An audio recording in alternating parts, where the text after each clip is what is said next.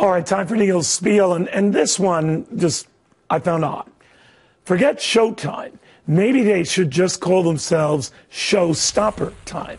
Because forget terrorists. The edgy network is pulling itself back from the edge, all but promising next year's Homeland will avoid any Muslim terrorist angles. Susan, there will still be terrorism, but I guess it will not be Muslim inspired. Yeah, I mean, it doesn't make any sense. Neil, I put this on my Facebook page to see what people would say. They were outraged. No way, they can't do that. That's, that's what the whole show is about. So I think that it, once we start allowing these terrorists to dictate to us how we conduct ourselves, this is entertainment. We don't stop. Well, the show's shows. creator says that's not Yeah. the case, but it's odd that this comes to light now. But we don't. We didn't stop. You know, shows on drug trafficking or Yeah. murder or violence or all those kinds of But things. they makes no sense. But they did say that they're looking for other creative angles. That this has It's going to be our to do. people, Tracy. The Italians. Italians. This is going to be another mafia show. I know. Sopranos That's what they part Sopranos part three.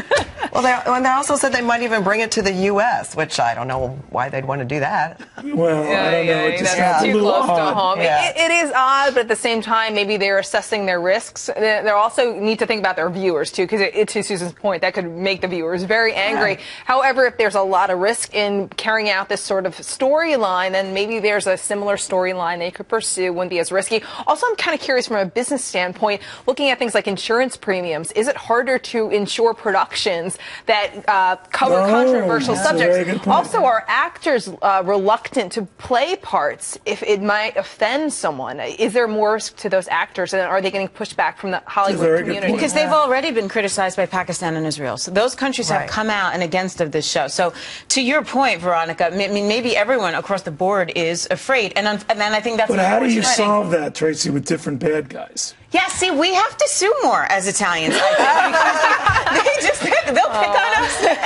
It is right, weird. that's right. It is weird. Or maybe we're doing things out of fear. Period. I think there is a little fear there, but once again, you know, I, I think people think if you if you put this out there and people are watching it, that it is going to raise the fear factor.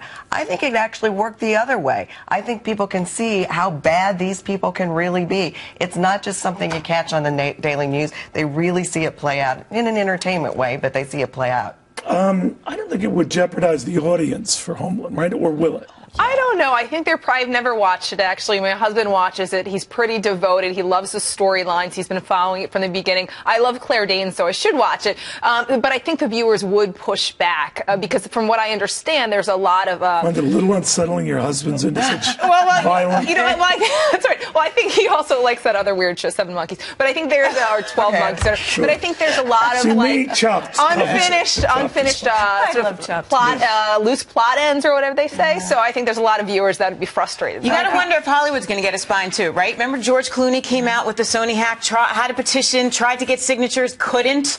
You got to wonder now, especially because he looked so darn good the other night, if people sign, sign something or will defend, step up to Hollywood. Back to being such a girl.